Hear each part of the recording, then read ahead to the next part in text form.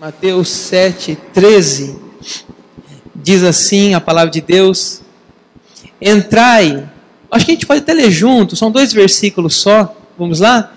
Entrai pela porta estreita, larga é a porta, e espaçoso o caminho que conduz para a perdição, e são muitos os que entram por ela, porque estreita é a porta e apertado o caminho que conduz para a vida, e são poucos os que acertam com ela. Né? Eu tenho um quadro na minha sala. Quem já esteve na sala pastoral? A sala pastoral é uma sala acessível a todos na igreja. A turma faz aulinha das crianças, fazem reuniões, enfim, é uma sala muito acessível. Quem já esteve ali já deve ter notado na parede da minha sala esse quadro.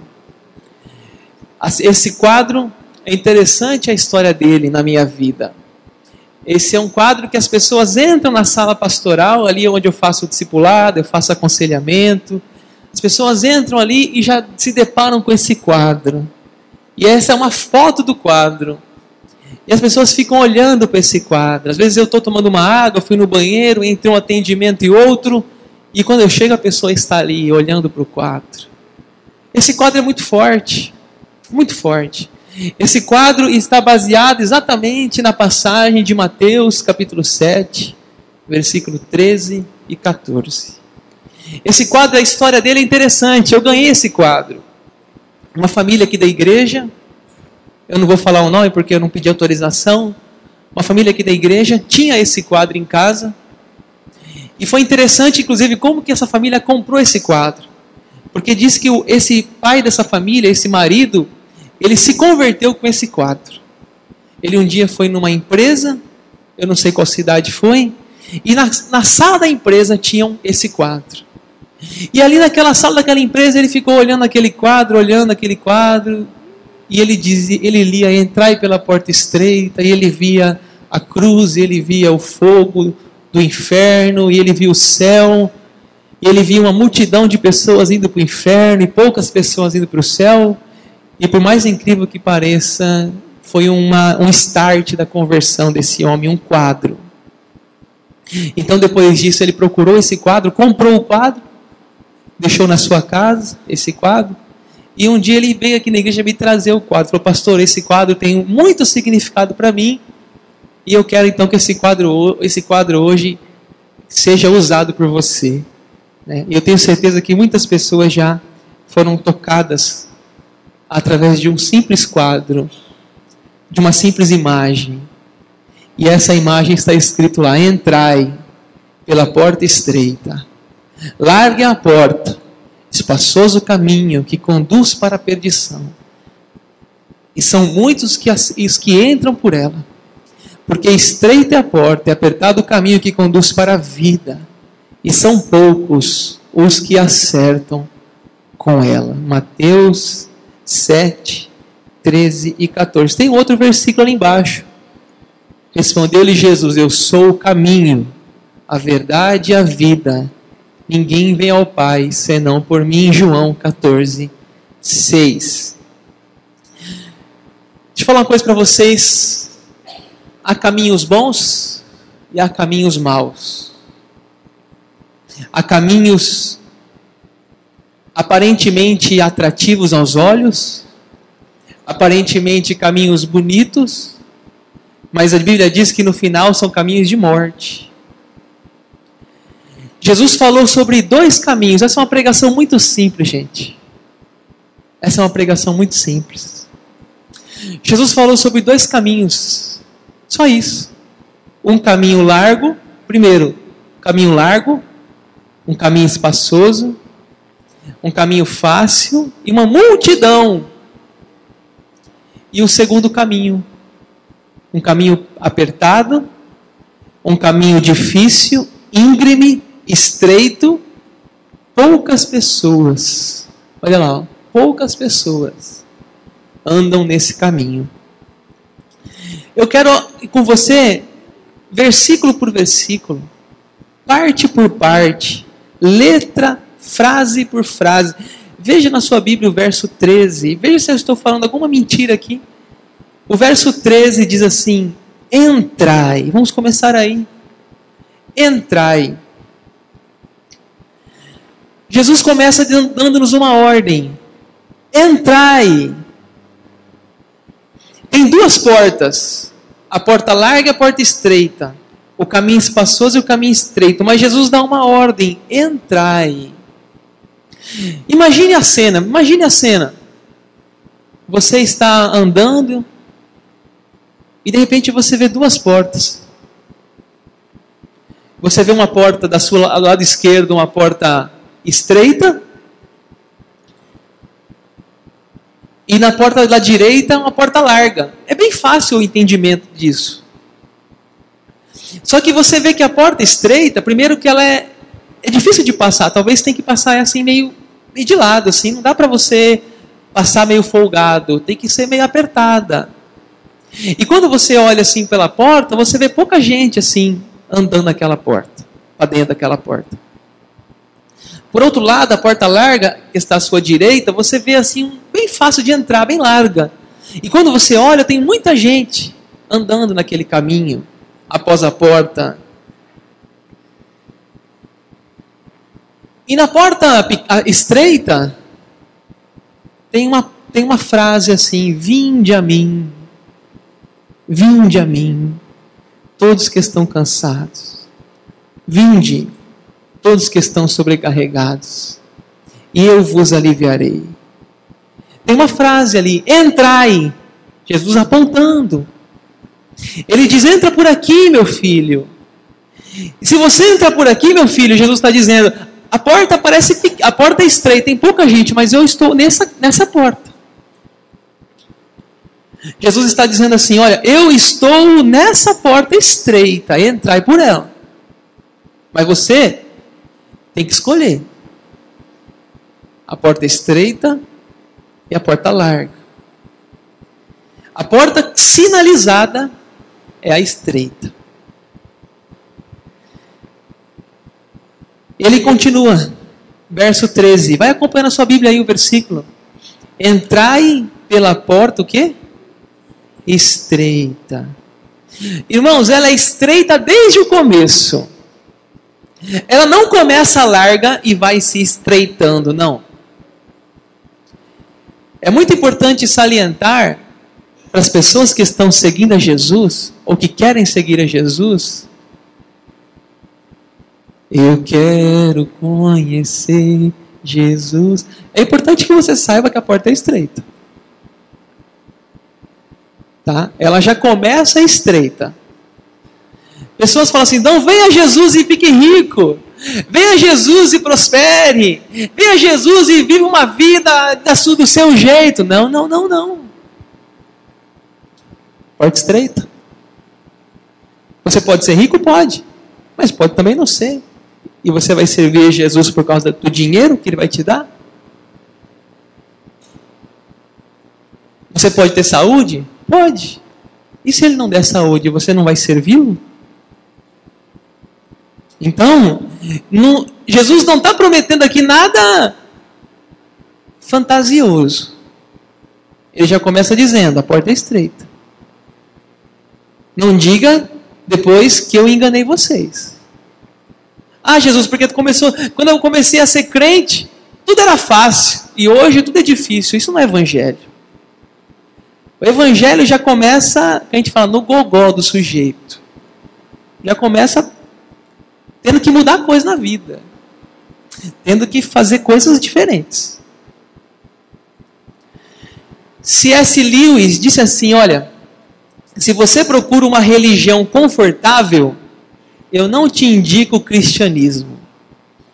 Vou repetir. Se você procura uma religião confortável, eu não te indico o cristianismo. E eu, como pastor, também digo a mesma coisa. Se você quer uma religião confortável, você está na religião errada. Porque Jesus não prometeu para nós uma vida fácil. Ele disse para nós que a porta é estreita, exige renúncia. O evangelho, desde o começo, ele é difícil. O cristão, quando ele se converte, ele tem que romper com o mundo de forma radical e definitiva. Não, pastor, mas daqui eu comecei agora. Me dá um ano aí. Me dá aí um tempo. Não. O evangelho é radical, irmãos. Cumpre-nos viver o evangelho em sua integridade, abandonar o mundo e os caminhos do mundo. Na porta estreita, gente, entra uma pessoa de cada vez. Não, pastor, deixa eu entrar aqui abraçado com o meu pai. Não dá. Deixa eu entrar carregando meu filho no colo. Não dá. Ela é estreita. Cada um tem que tomar a sua decisão. Ninguém pode carregar o outro no braço na porta. Não passa de dois. Não passa. Vocês já viram uma roleta de ônibus? O que é a roleta de ônibus? Ela é assim, não é? Ó? E ela roda. Olha, passa um de cada vez. Vai duas pessoas passando a roleta, passa vergonha, porque não vai rodar a roleta do ônibus. Vai economizar passagem. Já fez isso? Economizar passagem com seu filho? E mandou ele na roleta junto com você, chegou lá, não cabia? Os dois. Por quê? Eles fazem aquela roleta exatamente para quê? Para passar um de cada vez, para todo mundo pagar a sua passagem de ônibus. Irmãos, a, o evangelho é pessoal, é individual. A decisão é pessoal. E olha, infelizmente, aconteceu isso na vida do Billy Graham. Está a foto aí, ó, do Billy Graham, nosso Billy Graham, né? Tivemos ontem o nosso culto conexão de jovens aí, falamos sobre o Billy Graham ontem, uma homenagem ao Billy Graham. E está com o filho dele aí do lado dele, o Franklin Graham. Isso foi real na vida do Billy Graham. Billy Graham, maior evangelista do seu tempo, do nosso tempo, né? Pregou para 210 milhões de pessoas, mas ele tinha um filho, um filho pródigo, um filho desviado. O filho achava que o filho dele achava que ser filho de pastor era uma maldição, era ruim, era uma perseguição da igreja contra ele. E ele era um rebelde, ele viveu uma vida devassa nas drogas, nos vícios. E o pai dizia para ele: Filho, o Birigan dizia: Filho, não continue brincando com Deus. E um dia esse jovem estava num quarto de hotel. E sabe aquelas Bíblias dos Gideões que tem no quarto de hotel? Ele pegou uma Bíblia daquela e leu Romanos 8:1 que diz: "Não há condenação. Nenhuma condenação há para os que estão em Cristo Jesus." Romanos 8:1. E ele relata: "Joguei fora o cigarro, caí de joelhos e me entreguei a Jesus." e fez uma virada radical na sua vida. E hoje ele é o sucessor do seu pai. Mas ele teve que passar pela porta. O pai não pôde passar por ele. O pai não pôde pegar ele no colo e passar pela porta, não. O maior evangelista do nosso tempo teve o filho dele teve que decidir se queria ou não queria passar pela porta estreita. Irmãos, não, não tem como. Cada um tem que tomar sua decisão. Vamos ver a Bíblia, verso 13, acompanha aí. Vamos ler todo o versículo, vamos lá? Entrai pela porta estreita, larga é a porta. Nós temos uma outra porta, a porta larga. Jesus diz que essa porta larga conduz à perdição. E diz que são muitos os que passam por ela. Você está vendo o tanto, de, o tanto de passinho que tem lá? No chão? Irmãos, na porta larga, passa qualquer coisa. Na porta larga, a pessoa pode ter uma mochila, uma bagagem de, nas costas, e ela pode carregar o que for, uma bola de boliche. Ela pode carregar uma carteira de cigarro. ela pode carregar um litro de vodka, de uísque, ela passa na porta. A porta larga. Ela pode passar com sua avareza, com seu egoísmo, com sua maldade. Ela passa. Não tem ninguém na porta larga fazendo revista. O que, que você tem aí? Deixa eu ver. Não, pode passar. Vamos passar. O que, que você pode entrar? É a porta larga. Um caminho de liberdade, uma liberdade restrita. Seja feliz, faz o que quiser. O importante é que tenha amor. Tendo amor, faz o que quiser. Esses dias Samuel estava aqui na igreja, quinta-feira, encontro das mulheres. Para variar, Samuel aprontando. Bateu a cabeça, levei para o hospital para tomar um ponto na cabeça. Cheguei no hospital, Samuel. E uma moça assim, no, no sentada no, na, na, portaria, ali na recepção do hospital, com a, com a mão assim na nuca. E eu já coloquei o olho nela, fiquei preocupado com a, cena. Samuel estava bem, tomou um pontinho na cabeça, estava bem. Fiquei preocupado com a moça. Falei, poxa, o que, que será, né? E aí entrei com Samuel na sala e ela entrou. E ela entrou e de repente começou a vomitar lá na, do lado da cama de Samuel, tinha uma cortina. E eu ouvindo aquele, aquela pessoa vomitando, Samuel ali também. E a médica disse assim para ela: Por que, que você tomou, por que, que você tomou veneno de rato, menina? Eu fico pensando o que leva uma pessoa a tomar um veneno de rato. Fico pensando. O que leva uma pessoa a querer tirar a sua própria vida? Sabia que às vezes essa pessoa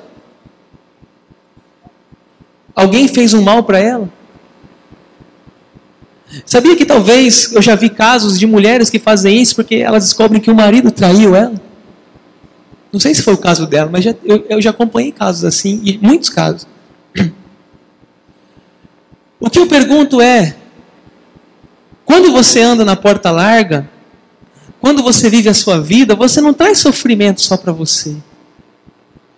Você traz sofrimento para você, traz sofrimento para sua família, para os seus amigos, para sua igreja. Você faz às vezes pessoas até mesmo tentarem um suicídio, por quê? Porque às vezes sua conduta é ruim. Eu não conheço aquela mulher, mas possivelmente às vezes esses casos está envolvido questões emocionais, sentimentais. Então, irmãos, essa liberdade que esse mundo oferece é uma liberdade da porta larga. É a liberdade de um, de um hotel, de um quarto de adultério, onde tudo parece tão bonito, tudo parece tão legal, tão lindo, aquela conversa no WhatsApp com uma pessoa que não é o seu esposo, sua esposa. Isso é muito bom. É o caminho espaçoso. É o caminho largo, é, é o caminho que a multidão está ali. Hoje, open bar, chopp liberado. Uhul! Vamos curtir, porta larga. Triste.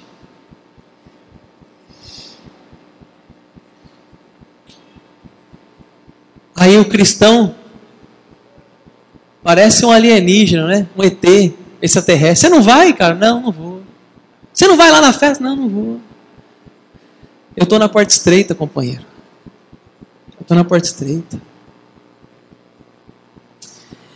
Também essa semana aconteceu uma coisa muito triste que eu vi essas duas coisas aí dessa menina do veneno e esse um trote que eu vi um trote na faculdade. Fiquei muito triste com essa notícia. Morei em Dourados, morei, fui pastor na cidade de Dourados, eu recebi uma notícia essa semana que em Dourados, lá na faculdade de Dourados, na UFGD, uma menina de 17 anos, foi, a, a mãe foi buscar a menina de 17 anos lá no, no hospital, em coma alcoólico. A menina estava em coma alcoólico, 17 anos. Ela estava numa festa no trote de calouros. E a menina foi encontrada vestida com roupa masculina e toda suja de sangue. A mãe encontrou a filha com uma roupa de homem e, e suja de sangue. O que aconteceu com essa menina? E a menina em coma, não sabe nem o que aconteceu com ela. Eu fico muito. Olha, eu quero dizer uma coisa para você que é jovem aqui na igreja, adolescente. Se você faz trote, e se você põe bebida e fica pedindo dinheiro para fazer bebida, cara, você não é cristão. Você não é crente. Não é possível que seja. Então você vai fazer um compromisso comigo. Quando você chegar na faculdade, primeiro, você não vai participar desses trotes. E segundo, você não vai incentivar esses trotes, nem vai incentivar ninguém a tomar álcool e se prostituir o que for, ou se pintar pra, porque passou na faculdade. Isso é uma besteira, gente. Isso é uma besteira. Olha a imagem lá, colocando cerveja, álcool na boca de uma menina. Para que fazer isso? Faz um trote social. Mas por que, que ninguém faz arrecadação de alimento e leva numa casa de recuperação? E leva num lar dos idosos? Por que, que tem que pegar dinheiro para tomar bebida para os velhos? Os calouros pagar bebida para os velhos? Que história é essa? Isso não é porta estreita, gente. Isso é porta larga. E essas meninas e esses meninos, chegando à faculdade, 17 anos, 18 anos, 19 anos, tudo vai virar alcoólatra, porque estão já pegando, dizendo que é normal, tem que beber, tem que passar pelo trote e tal, e tal, e tal. Ué, não está certo esses trotes. Nós estamos agora na época de trote aí, deve ter acabado já. Eu fico muito triste todo ano com esses trotes. Queria que você, cristão, me ajudasse na batalha contra isso. Não precisa disso. Trote social. Muito melhor que esses trotes para tomar cerveja, cachaça e ficar cortando o cabelo da turma. Não, tem, não serve para nada. Espaçoso o caminho. Veja na sua Bíblia aí se eu estou falando alguma coisa errada aqui. Entrai pela porta estreita. Largue a porta. Espaçoso o caminho. Que caminho é espaçoso, gente? Porque ele não exige nada. É um caminho fácil, é um caminho largo. Passam os amigos embriagados, abraçados, eles passam curtindo os prazeres, as diversões da vida. Fumam, bebem, dançam, experimentam drogas, fazem sexo, fazem o que quiser. Mas essa vida, sabe o que é?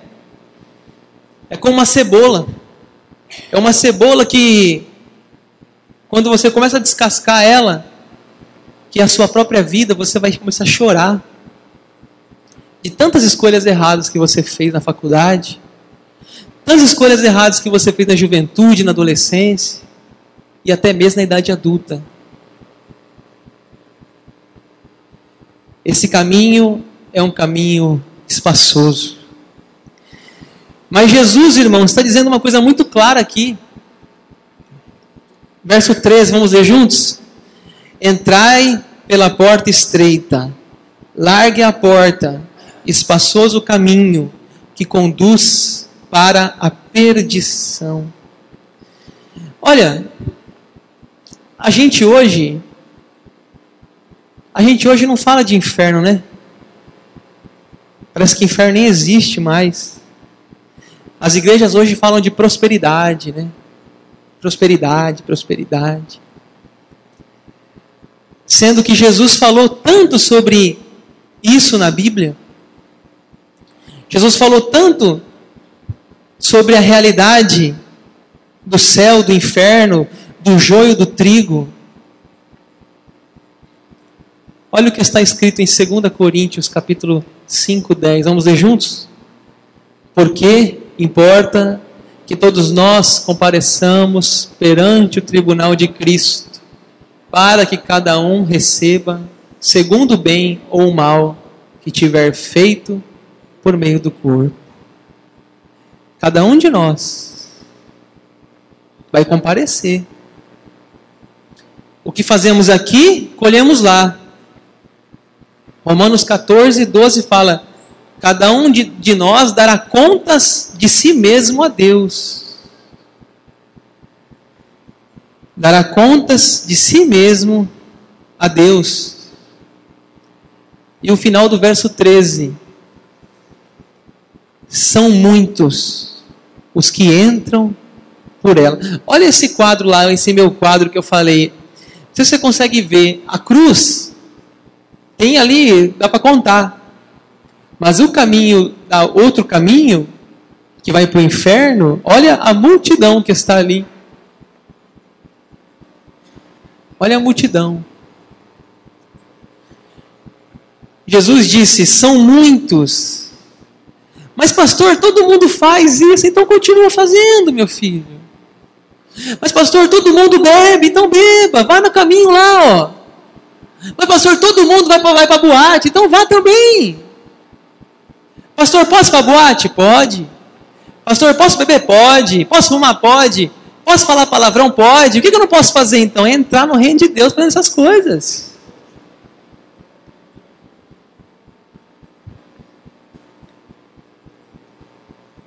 Verso 14. Vamos ler o verso 14 para o comecinho? Porque estreita é a porta. O caminho estreito, gente, exige arrependimento, renúncia. Primeira coisa que temos que renunciar é o que nós chamamos de mundanismo. Mundanismo, hábitos, costumes do velho homem, da velha mulher. O crente começa a sua carreira rompendo com o mundo, rompendo com as multidões, rompendo com as pessoas. Ele rompe. Ser cristão não é popular, não, gente. Não é popular. Ser cristão não é popular. É uma maneira estranha de viver ser cristão. É uma maneira diferente. É remar contra a correnteza. É andar muitas vezes sozinho. É muitas vezes se isolar. É muitas vezes se afastar. É muitas vezes olhar para o caminho e falar: Eu estou sozinho aqui, não é possível. É estreita a porta. O verso 14 porque estreita é a porta e apertado o caminho. Vamos ver as palavras de Jesus? Vamos lá, Marcos 8. Acompanhe comigo a leitura lá. E chamando a si a multidão com os discípulos, disse: Vamos lá, gente. Se alguém quer vir após mim, negue-se a si mesmo, tome a sua cruz e siga-me. Pois quem quiser salvar a sua vida, perdê-la-á mas quem perder a sua vida por amor de mim e do Evangelho, salva-la, pois que aproveita ao homem ganhar o mundo inteiro e perder a sua vida, outra, outra versão fala a sua alma. Olha, nessa estrada, além do cristão deixar o mundo, ele tem que deixar o seu próprio eu. Deixar o seu próprio eu. Talvez deixar o mundo é fácil, mais difícil é deixar o eu. Você não pode passar naquela porta estreita, você e o seu egoísmo, o seu próprio eu. Não passa dois homens, o novo homem e o velho homem. O velho homem, o que, que é o velho homem, a velha mulher? São velhas práticas que a gente tinha, quando a gente não conhecia a palavra de Deus. E assim, Jesus ele diz assim, ó, se alguém quer, ele não está dizendo que você é obrigado, não. Ele não está dizendo, te forçando. Ele está dizendo, se alguém quer vir pós mim, negue-se a si mesmo. Negue-se a si mesmo. Você tem que decidir se quer segui-lo. Eu gosto muito dessa história aqui, ó.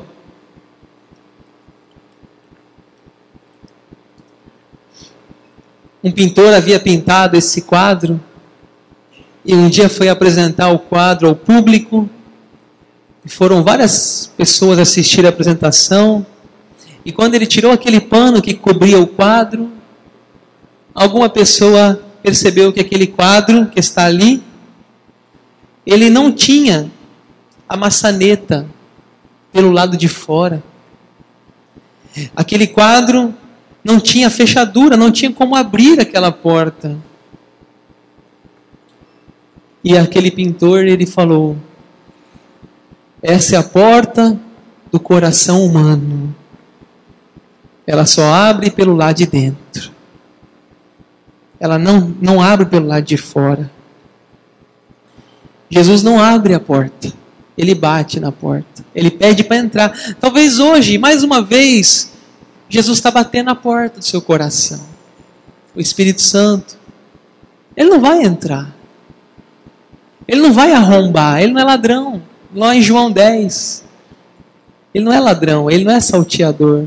As ovelhas ouvem a sua voz e seguem. Verso 14. Vamos lá, verso 14, vamos ler? Porque estreita é a porta e apertado o caminho que conduz para a vida. Olha, gente, essa porta ela vai, ela vai levar a gente para a vida eterna. Essa porta vai levar-nos para o céu. Pastor, eu não sei se eu creio no céu. Você quer morrer para ver? Você quer pagar para ver? Você que sabe. Se você morrer e céu e inferno existir, você está bem. Agora, se você morrer e existir, e você negou, aí eu não posso te ajudar. Porque você tem que decidir se você crê ou não crê nas palavras de Jesus. Se você é um cristão ou não é. Se você é dele ou você está em cima do muro. Conduz para a vida. Eu já falei para vocês isso e vou repetir. Quando alguém morre, todo mundo é santo. Quando morre, nossa, era um menino tão bom. Mas era crente? Entregou a vida a Jesus? Se não entregou, destino eterno está selado. Ah, vamos fazer uma vela aqui para ele, para iluminar o caminho. Ah, vamos chamar o pastor Daniel para fazer uma oração e quem sabe mudar a rota. Não dá.